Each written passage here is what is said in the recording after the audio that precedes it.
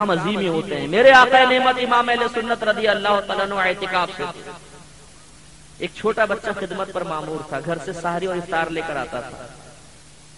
आला हज़रत की आदत मुबारक थी। जफरुद्दीन बिहारी रहमत ने लिखा है कि पहले आप पान खाते थे बाद में तर्क फरमा दिया था। उस वक्त पान खाने की आदत थी। इफ्तार हो गया बच्चा लेट हो गया आ नहीं सका। काफ़ी देर बाद आया। तो पान की तलब महसूस हो रही थी करीब आया तो आपने उसके सर पे दो चपत मारी। और फरमाया, आज इतनी देर कर दी। बच्चे ने कहा कि, हुजूर, दरअसल घर से ही देर हो गई थी। घर वालों ने देर से खाना तैयार किया। अब वो बच्चा चला गया। हज़रत हकीम साहब देखते हैं, आपके साथी थे वो, आपके साथ मोतकिफ थे। कहते हैं कि आला हज़रत उस रात इंतहाई बेचैन कभी इधर जाएँ, कभी उधर जाए, कभी इधर जाए, कभी उधर जाए। हत्या की सहरी का वक्त आ गया। वो बच्चा सहरी लेकर आया। आपने कहा, बेटा, सबसे पहले इधर आओ। बच्चा करीब आया। अपना इमाम उतार के ज़मीन पर रख दिया। फरमाया, बेटा, मेरे सर पर दो थप्पड़ मारो। बच्चा एकदम घबरा गया, हुजूर, ये मैं कैसे हिम्मत कर सकता हूँ? फरमाया, बेटा, तुम्हें करनी पड़ेगी। अगर मैदान माशर में अल्लाह ने पूछ लिया कि, ए अहमद रजा, तूने इस बच्चे के दो तमाचे क्यों मारे? तुम्हें अल्लाह को क्या जवाब दूँगा, बेटा, तुम बदला ले लो। बच्चे ने कहा मुझसे नहीं हो सकता। फरमाया, ठहरो। जल्दी से मस्जिद में गए। फुकारा की तकसीम के लिए एक लकड़ी के बक्से में बहुत सारा पैसे रखे हुए थे, वो लेकर आए। खोल के कहा, बेटा, देखो, सारे दे दूँगा। तुम दो थप्पड़ मार उसने कहा, नहीं जी, मैं कुछ नहीं कर सकता हूँ। मैंने आपको मुआफ किया। फरमाया, तुम नाबालिग को बेटा, मुआफ करने का तो हक ही नहीं है। मारने ही पड़ेंगे। उसने कहा, मैं नहीं कर सकता। आपने फरमाया, तुम नहीं कर सकते तो बेटा हम करेंगे। उसका हाथ लिया और दो अपने सर पे चपत लगाई और फिर सारा बक्सा भी उसी को दे दिया। उन्होंने ऐसे तो इज़्ज़त नहीं पाली। उनकी मदा और सना के तराने ऐसे तो नहीं सबकी जबान पे चल रहे। हमारा हाल तो ये है कि जब हम सामने होते सब रेड अलर्ट और जैसे हम निकलते हैं तो बोलते हैं, बड़ा बददिमाग आदमी है, कम वक्त ने ज़िंदगी दूबर कर रखी है। हमारी इज़्ज़त तो ये लोग हमारे मनसब, हमारी ताकत, हमारी कुदरत, हमारा पैसे की वजह से हमारी इज़्ज़त करते हैं। वरना हमारी अखलाक, हमारी आदात ऐसी है कि पीठ पीछे गालियाँ ही पड़ती हैं। हर एक की बात नहीं कर रहा हूँ? जो बदात आदात में गिरफ़्तार होता तो जरा गौर फरमाए कि हमारे नबी करीम सल्लल्लाहु अलैहि वसल्लम ने आखिरत के खौफ की वजह से अपने गुलाम से फरमाया बदला ले ले कोई शोहर ऐसा पैदा हुआ है कि जो अपनी जोजा से कहे कि मैंने तुम पे जुल्म सितम किया था, फुला वक्त मारा था, अब मुझे समझ में आ गया जुल्म था, लो जूती उठाओ, मैंने जूती मारी, तुम भी मुझे जूती मारो। नहीं, हमारे दिल में है तकबर बड़ापन लोगों के सामने रियाकाराना तौर पर और दूसरे को मुतासर करने के लिए आरजी के जुमले कहने वाला। जब इम्तिहान में मुबतला होता है, तब इसका तकबर देखिए। वो हमारे नबी थे। हम उनके उम्मती हैं। हमने नबी के सिर्फ़ नारे लगाना सीखा है। हमने नबी के नाम पे खाना ज़रूर सीखा है। नबी के तरीके इख्तियार करने के लिए हम तैयार नहीं। बहुत मुश्किल काम है, बाबा। ये कौन करे?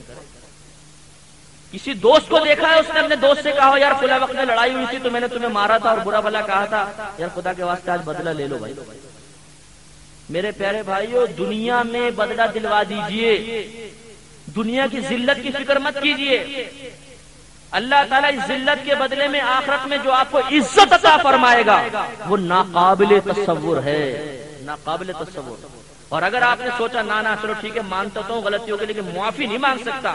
ये है दिल का तकबर बास तो ऐसे मुतकबरीन भी देखे हैं कि उन्होंने माँ बाप के सामने बदतमीजी की, उनका दिल तोड़ा, जिनके बारे में अल्लाह ने फरमाया, वला तकुल्लहुमा इन माँ बाप को उफ भी मत कहो और इनको डांटो मत। और जब उन्हें प्यार, शफकत, मोहब्बत से समझाया गया तो उन्होंने कहा, मैं इतराफ करते हैं कि हमसे गलती हुई, लेकिन माँ के कदमों में नहीं गिर सकते। वाले से माफ़ी नहीं मांग सकते। दिल के तकबर ने हाथों को रोक दिया, जुड़ने नहीं दिया। और इसी तरह फिर माँ बाप का इंतकाल हो गया। ये बदबख्ती है। इसलिए मेरे प्यारे भाइयों, हिम्मत कीजिए। अल्लाह की बारगाह में अगर आप चाहते हैं सुरखुरु होकर पहुँचे तो इस सुन्नत नबी को इख्तियार करें। ये खुल्क मुस्तफ़ा है कि दुनिया में ही बदला दे जाओ, आखरत के लिए कुछ जमा मत रखो।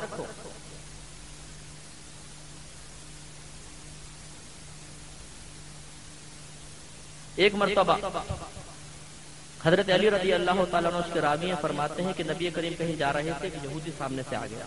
बड़ा मालदार कहने लगा, ए मोहम्मद, आपने मुझसे कर्जा लिया था, मेरा कर्जा वापस करो। नबी करीम सल्लल्लाहु अलैहि वसल्लम ने वो कर्जा एक मखसूस मुद्दत तक के लिए लिया था।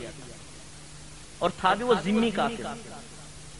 हुकूमत इस्लामिया में अगर कोई काफिर तहफुज के लिए टैक्स दे, जिसको जिजिया कहते हैं तो इस काफिर को कहते हैं जिम्मी काफिर। और फिर हाकिम इस्लाम के लिए लाजिम होता है कि वो इसकी हिफाजत करेगा। वो यहूदी जिम्मी काफिर था कहने लगा, मोहम्मद, मेरे पैसे दीजिए। नबी करीम सल्लल्लाहु अलैहि वसल्लम ने फरमाया कि अभी तो बजाहिर मेरे पास कुछ भी नहीं जो तुम्हारा कर्जा दूँ। कहने लगा ऐसा है तो यहाँ से जाने नहीं दूँगा। अब आज के साहिब मनसब होता, पीछे इतना ज़बरदस्त प्रोटोकॉल, जान कुर्बान करने वाले साहबा इशारा फरमाते, पै जाओ, टूट पड़ो, मारो इसको जरा, समझाओ। इस वक्त हाकिम इस्लाम जिसकी पूरी दुनिया पर हुकूमत जो इशारा कर दे तो पहाड़ भी चलने लग जाएँ, जो इशारा कर दे तो हवाएँ रुक जाएँ, जो इशारा कर दे तो दो टुकड़े कर दे। पकड़ लो इसको। नहीं सरकार ने फरमाया अच्छा अगर तुम हमें रोकते हो तो ऐसा ही है। हम ये रुकेंगे। जोहर वहीं पड़ी असर वहीं पड़ी मगरिब वहीं पड़ी ईशा वहीं पड़ी रात वहीं गुजारी अगले दिन की फजर भी वहीं पर अदा की। पाँच नमाजें बड़ी बात रोड के किनारे मुस्तफ़ा रात वहाँ गुजार रहे। जब सुबह हुई तो वो यहूदी करीब आया और कलीमा पढ़ के मुसलमान हो गया। कहने लगा यासल्लाह सल्लल्लाहु अलैहि वसल्लम, मैं तो दरअसल तौरेत के अंदर लिखी हुई वो निशानियाँ जाहिरी तौर पे देखना चाहता था, जो आपके औसाफ के तौर पे दर्ज है। उसमें लिखा था कि वो नबी किसी का हक नहीं दबाते, वो अफवो दरगुजर से काम लेते हैं, बाजारों में चीखते चिल्लाते नहीं। खुदा की कसम, जैसी निशानियाँ तौरेत में पाई, वैसा मैंने आपको पाया।